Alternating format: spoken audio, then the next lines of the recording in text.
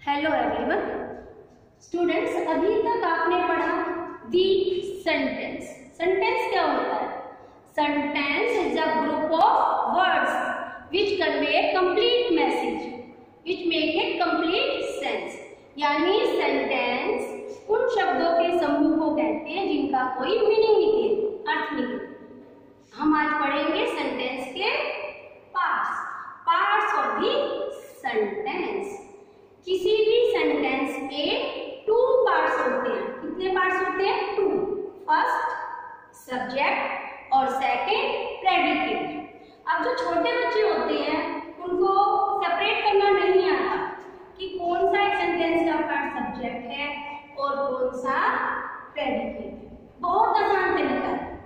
अगर आपको किसी भी सेंटेंस की हिंदी आ जाए तो बहुत अच्छा है हिंदी में ये देखो कि किसके बारे में कहा गया है बारे में कहा गया हो, उसको कहेंगे सब्जेक्ट जिसके बारे में भी कहा गया है, उसको कहेंगे सब्जेक्ट और उसके बारे में क्या कहा गया है, उसको कहेंगे प्रेडिकेट यानी कि जो सब्जेक्ट को क्वालिफाइड करे यानी नाउन है आ जाएगा इसमें इसमें डिटरमिनर्स भी आ जाएँगे उसके बारे में जो भी कहा जाए वो हो जाएगा प्रेडिकेट एक बार फिर से, जिसके बारे में कहा जाए उसको कहेंगे सब्जेक्ट और उसके बारे में क्या कहा जाए प्रेडिकेट अगर आपको सेंटेंस की हिंदी नहीं आती तो भी कोई प्रॉब्लम नहीं। मान लो आपको पता ही नहीं लगता कि सेंटेंस में नाउन क्या है एडजेक्टिव कहाँ है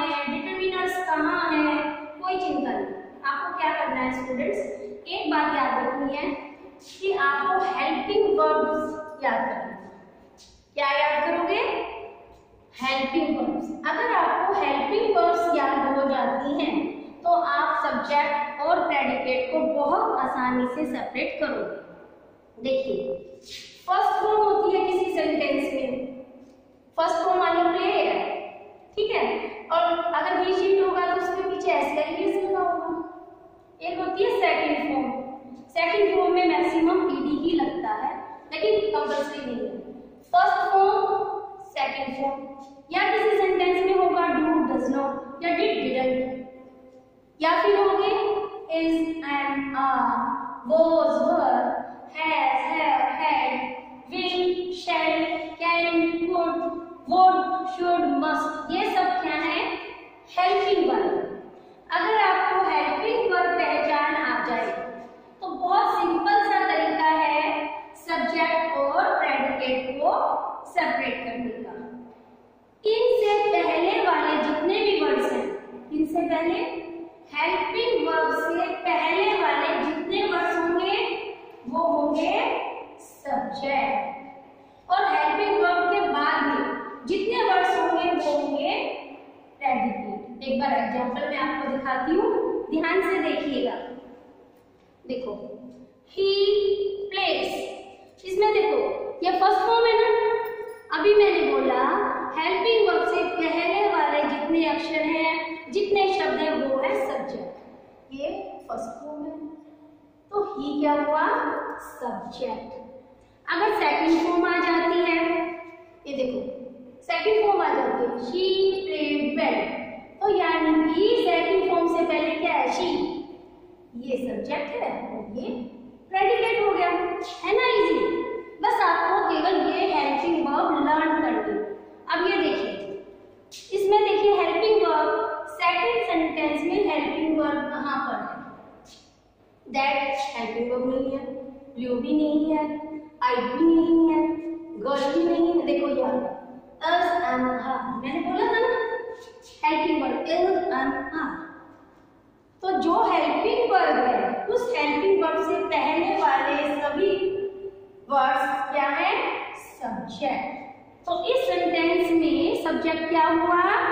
दैट ब्लू आई गर्ल ये पूरा क्या हुआ? सब्जेक्ट इसके बाद हेल्पिंग वर्ब के बाद वाला क्या हो जाएगा?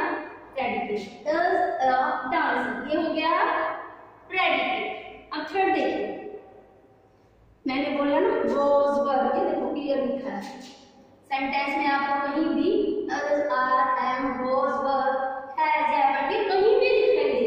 तो उससे पहले वाले को सब्जेक्ट अब इसमें देखो हेल्पिंग वर्ब कहीं नज़र आ रहा है the tall boy was praying देखो ये रहा वेरी गुड वो जो है हेल्पिंग वर्ब तो द टोल बॉय ये क्या हुआ सारा सब्जेक्ट और वो स्पेलिंग क्या हो गया प्रेडिकेट क्लियर हो गया ना बहुत इजी है कई बार फ़र्स्ट फॉर्म और सेकंड फॉर्म वाले सेंटेंसेस में अगर वो नेगेटिव है तो डू डज नॉट डिडंट लग जाता है तो हमने देखो ये क्लियर बोला था ये देखिए आप, कि जो फ़र्स्ट फॉर्म है, अगर आपको नेगेटिव सेंटेंस होगा तो क्या मिलेगा? डू डजंट या डिड डिडंट ये भी आपको कहीं भी दिखाई देता है तो उससे पहले वाला सब्जेक्ट अब देखो, ये क्या है? डू या डिडंट होगा? अगर आप नेगेटिव सेंटेंस नहीं आएगा डू डस के साथ लगाया तो उससे पहले वाला अक्षर क्या हो जाएगा क्या सब्जेक्ट और यहाँ से लास्ट वाला क्या हो जाएगा? प्रेडिकेट है ना? और लास्ट देखो, ये भी सब हेल्पिंग वर्ब होते हैं। Will would shall should can could make might must ये सारे क्या होते हैं? हेल्पिंग वर्ब अब इस लाइन में आप हेल्पिंग वर्ब को सर्च करो। शुड यानी कि हेल्पिंग वर्ब से पहले वाले जितने अक्षर हैं वो क्या हो गए? सब्जेक्ट तो ये विल क्या हुआ? वी क्या हुआ? सब्जेक्ट और इसके बाद वाले सारे, ये पूरी लाइन क्या हो जाएगी? प्रेडिकेट तो आपको अब सिर्फ़ और सिर्फ़ आपको केवल हेल्पिंग पर पहचाननी है। फ़र्स्ट फॉर्म सेकंड फॉर्म या फिर डू डस डिड डिडंट मिलेंगे is I was were has have ये सारे आपको किसी भी लाइन में कहीं भी दिखेंगे तो उससे पहले जो होगी वो क्या है सब्जेक्ट और बाद वाली लाइन बन जाएगी प्रेडिकेट आपको मैं हिंदी में बताऊँगी कई बार होता है जैसे मैं ये कहूँ कि नेहा नाचती है किसके बारे में बताया मैंने नेहा तो नेहा क्या हुई सब्जेक्ट किसके बारे में बताया नेहा नेहा क्या तो होगी सब्जेक्ट नेहा कर क्या रही है? नेहा नाच रही है। उसके बारे में जो बता दिया, वो हो जाएगा प्रेडिकेट अब इंग्लिश में ये लाइन में बोल दूँ। नेहा, मान लो मैंने बोल दिया, नेहा डांस नेहा अब ये नेहा क्या है इसके बारे में बता रहे हैं ना तो वो सब्जेक्ट हो जाएगा डांसिस नेहा क्या करती है रही है। तो ये हो जाएगा प्रेडिकेट एक बस बहुत आसान तरीका, बस दो ही बात, अगर हिंदी आ जाती है सेंटेंस की तो बहुत अच्छा है। जिसके बारे में कहा जाए सब्जेक्ट और उसके बारे में क्या कहा जाए अगर आपको हिंदी नहीं आती तो जस्ट आपको हेल्पिंग वर्ब लर्न करनी है। उससे पहले की लाइन सब्जेक्ट और उसके बाद का सेंटेंस प्रेडिकेट ओके स्टूडेंट्स